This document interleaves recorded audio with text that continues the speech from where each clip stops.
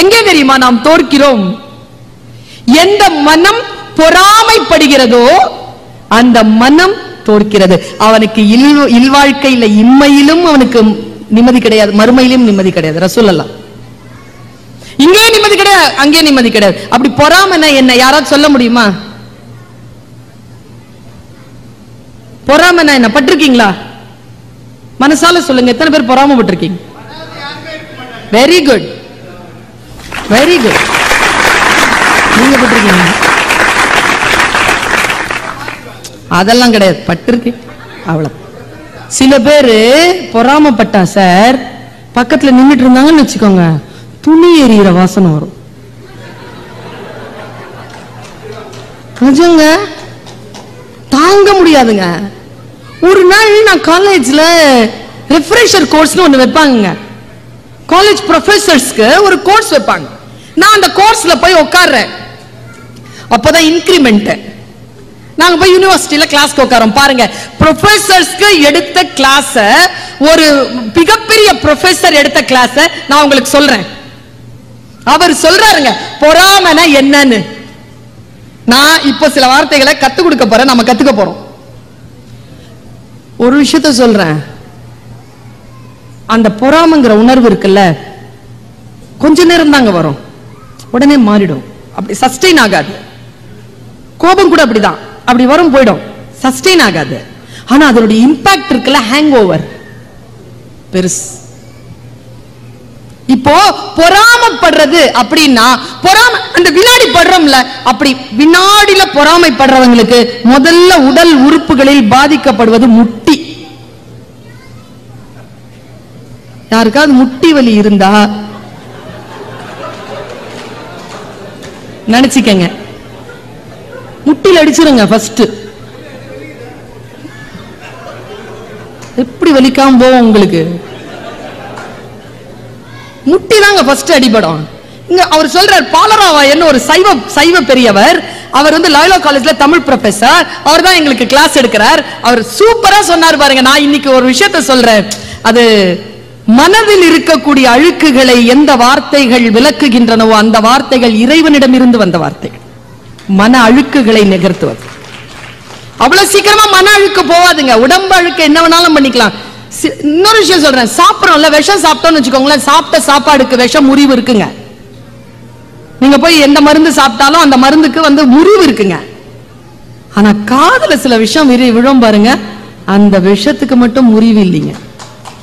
பாருங்க சொற்கள் நம்முடைய மனதை கழுவுகின்ற சொல்லை அந்த சைவ பேராசிரியர் எனக்கு சொல்கிறார். எல்லோருக்கும் சொல்கிறார் எனக்கு அது புரிகிறது உங்களுக்கு புரிகிறதா? என்று பாருங்கள். எது பொறாமை? பொறாமைங்கிறது என்னன்னு சொன்னார் பாருங்க. எனக்கு அதுக்கு முன்னால் நான் பொறாமப்பட்டிருக்கேன். சாட்சி நான் பொறாமப்பட்டிருக்கேன். ஆனா அது பொறாமை இல்லை அப்படின்ட்டார். அதனால எனக்கு விடுதலை.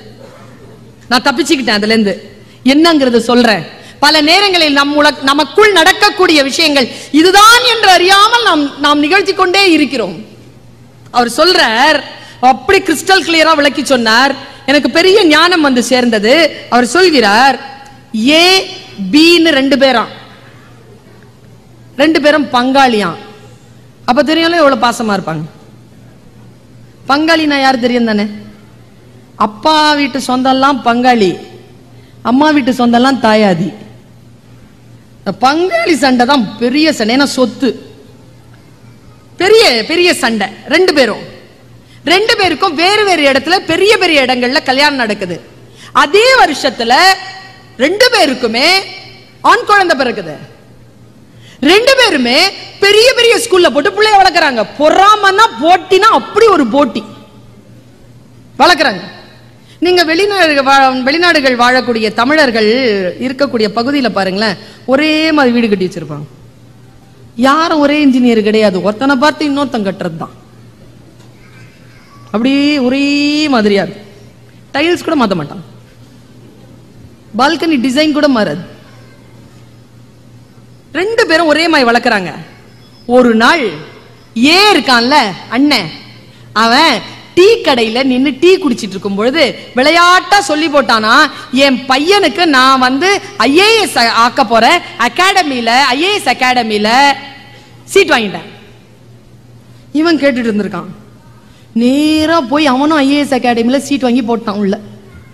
ரெண்டு பேரும் ஐஏஎஸ்க்கு படிக்கிறாங்களாம். பால்ராவாயன் சொல்றாரு. ரெண்டு பேரும் ஐஏஎஸ்க்கு படிக்கிறாங்க. ரெண்டு பேரும் ப்ரிலிமினரி எழுதுறாங்க. ரெண்டு பேருக்குமே ரிசல்ட் வருது. ரிசல்ட் ஒரே நாள்ல வருது பேப்பர்ல வருது. இப்போ பேப்பரை எடுத்து வச்சிருக்கோம். இப்போ நாம எல்லாரும் தான் ஏ ஓகேவா எல்லாரும் சாட்சிக்கு வாங்க. எல்லாரும் ஏ யாருடைய நம்பரை முதல்ல பார்ப்போம்? அவ்வளோ கெட்டவங்க எல்லாம் இல்லைங்க. அவ்வளோ கெட்டவங்களா நம்மளது பார்ப்போங்க நம்ம பிள்ளை தான் பார்ப்போம். பிஏ எல்லாம் பார்க்க மாட்டோம். அவ்வளோ பதட்டம் இருக்கும்ல. நம்ம பிள்ளைது வந்துருச்சா ப்ளஸ் டூ ரிசல்ட் வருது. ஆகாதவங்க ரிசல்ட் எப்போ பார்ப்போம் ஃபர்ஸ்ட் நம்ம பிள்ளை ரிசல்ட் தானே பார்ப்போம். ப்ளஸ் டூன்னு சொன்னா புரியுது ஐஏஎஸ் சொன்னால் புரியல பாருங்க. பார்க்குறான் அவன். அவன் பிள்ள பேர் வரல. உடனே என்ன பண்ணுவான்? ஆ இப்போ வாங்க. இப்போ வாங்க. சால் ஃபுல் எனர்ஜியில் பார்ப்பார் போல இருக்கு பிஏ அவர் தாங்க உயிர்ப்பாக வச்சிருக்கிறாரு ஆடியன்ஸை பார்த்தார். பி பார்த்தார். அவன் பேர் வந்துருச்சுங்க.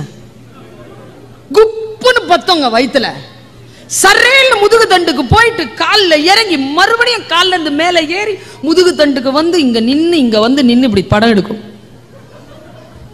பொறாம. நான் பாருங்களேன். செத்தே போவாங்க முன்னால இருக்கிற ஆளு. அந்த அளவுக்கு பொறாம. அவர் சொல்றாரு அதுக்கு பேர் பொறாமை இல்லையா விடுதலையா? நானும் விடுதலை ஆயிட்டேன். ஏன்னா ஐயோ எனக்கு கிடைக்கலையே அவனுக்கு கிடைச்சிருக்கேன்னு சொல்றதுக்கு பேர் பொறாமை இல்லையா? அது ஏக்கமா? ஐயோ ஐயோ மனசு அடிச்சுக்கிறதுக்கு பேர் பொறாம கிடையாதாங்க அது. அது ஏக்கமா? எது பொறாமன்னு சொல்றாரு? ஏ. பேப்பரை திறக்கிறான். எங்க என் வாழ்க்கையை மாத்துச்சிங்க இது? பேப்பரை திறக்கிறான். அவன் பேர் வரல. பிஏ பார்க்குறான்.